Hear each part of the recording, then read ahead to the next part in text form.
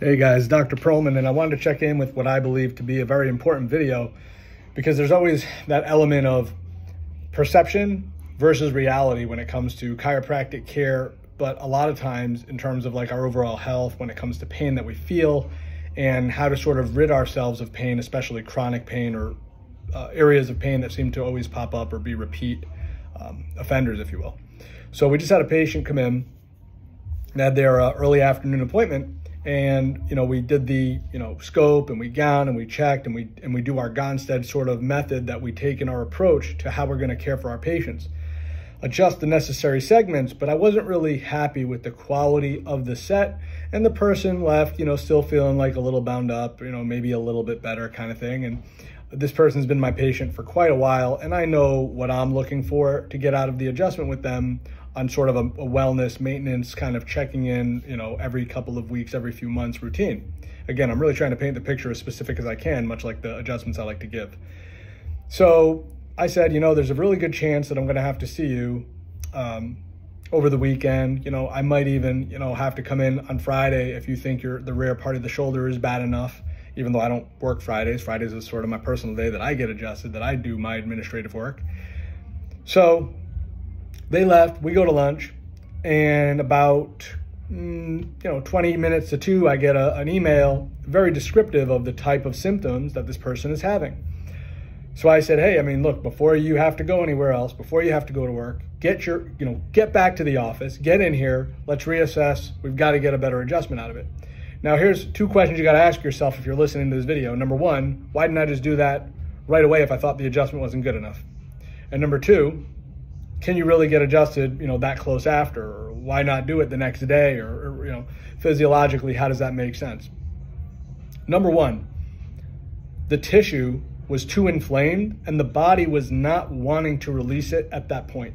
Think of a pressure gradient that just has so much pressure in one area of all these various joints that make up the bone, disc, bone, joint complex, if you will, of the spine and it just didn't want to give what I wanted to have the body, you know, be able to receive at that moment in time.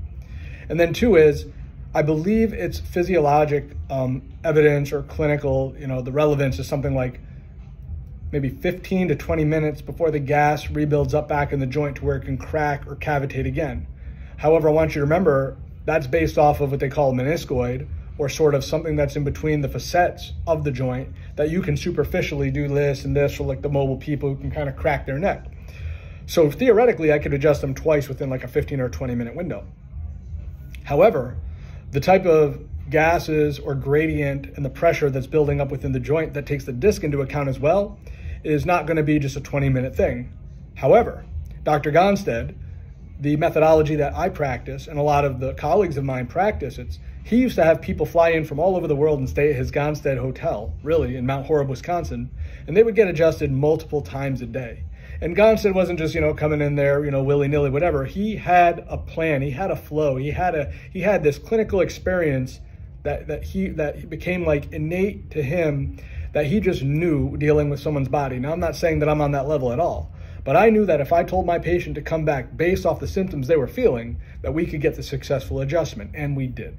So I want to make this video again because it's like expectation versus reality. The reality is someone is in pain or in enough discomfort and the clinical observation and the clinical tests show that it's coming from a specific joint. And if a specific adjustment doesn't go good at first, is that because I'm clinically, you know, not good and I just had an off day or an off moment? A lot of times the inflammation and the guarding and the paraspinal spasm that exists is just not going to allow that joint to do quite what we want.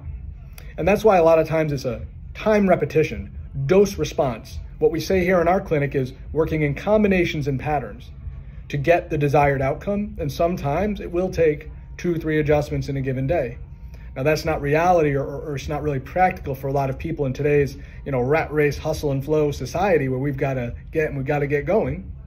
So you have to be able to work that in to really resolving some of these pain management issues from time to time where you might go to your chiropractor and stick around for an hour and a half, walk around the neighborhood, go get a coffee, go eat lunch, come back. You might have to do something where you're staying at a hotel if you're coming in from out of town and twice a day go see the chiropractor. And I just want to paint, paint a picture for when it comes to real serious pain cases, that type of management is necessary. And that's how chiropractic can make the biggest impact in the pain cases. Uh, if you're feeling like, oh, why was this successful one day or why is this successful here and not successful there, there is a real life practical story of the way it works. If you have any questions, feel free to reach out. And until next time, this is Dr. Pearlman.